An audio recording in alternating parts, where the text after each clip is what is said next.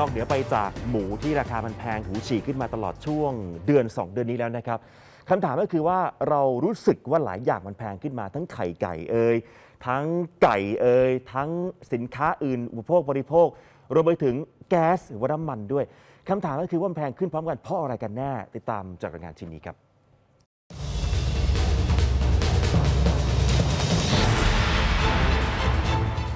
ในช่วงปลายปี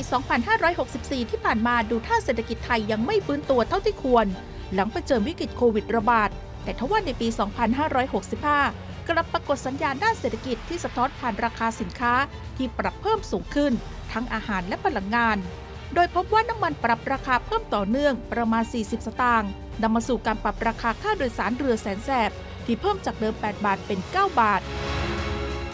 ที่เด่นชัดน่าจะเป็นราคาเนื้อหมู ที่ตอนนี้ราคาพุ่งสูงกว่ากิโลกรรัมละ 250 บาท ส่วนต่างจากปีก่อนประมาณ 90 บาท เช่นเดียวกับราคาเป็ดไก่ รวมทั้งไข่ไก่ก็มีการปรับราคาขึ้นเช่นกัน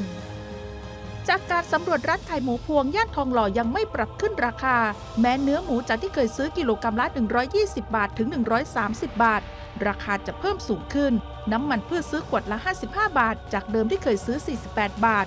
ยอมรับเห็นใจลูกค้าหาเช้ากินค่ำแต่ก่อนจริงๆนั้นมัน 90 บาทก็มีช่วงไปซื้อสะโพกนะ 90 บาทยังไม่ถึงร้อยก็มีอันนี้มันเกือบ 200 แล้วอะผมไม่ก็ตัดสินใจไม่ได้นะว่าจะจะจะปรับยังไงเพราะคงตอนนี้ยังไม่ปรับนะ ถ้าปรับไปคิดว่าลูกค้าจะจะจะซื้อไหวไหมถ้า15บาทเท่าเนื้อ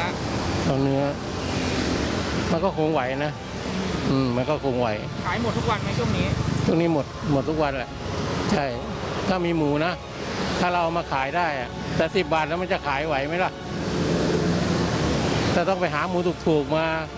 ถ้าถูกเยอะ มันก็เป็นเหม็นหมูเหม็นอีก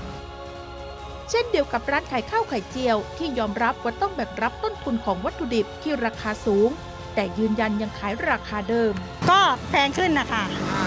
แพงขึ้นเราจะมีการปรับราคาขึ้นไหม ไม่ปรับหรอกค่ะสงสารผู้บริโภคค่ะ ก็คนกินก็ส่วนมากก็หาเช้ากินค่ำนะคะลูก สงสารเขา น้ำมันพืช แล้วก็พวกเนื้อสัตว์ พวกไก่พวกอะไรเพราะเราต้องใช้ไก่ด้วย ใช้ทั้งเนื้อไก่ใช้ทั้งไข่ จากปกติขวดหนึ่ง40 กว่าบาทตอนนี้ก็ 56 57 ก็ต้องทำใจนะคะ ไม่ออกความเห็นดีกว่า เพราะเราเป็นแค่รากหญ้า เราออกความเห็นไปก็แค่นั้น พออยู่ได้นะลูกไม่ถึงกับลำบากสำหรับป้านะ แต่คนอื่นป้าไม่รู้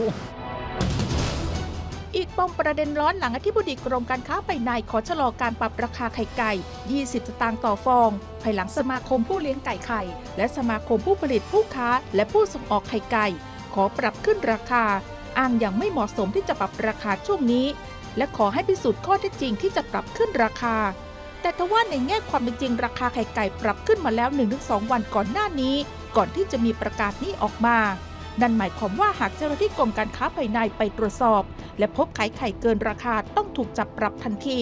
นำมาสู่คำถามตามมา แล้วส่วนต่างที่ทางร้านค้าซื้อไข่ที่ปรับราคาแล้ว จะต้องเป็นผู้แบกรับราคาไข่ไก่ที่เพิ่มขึ้น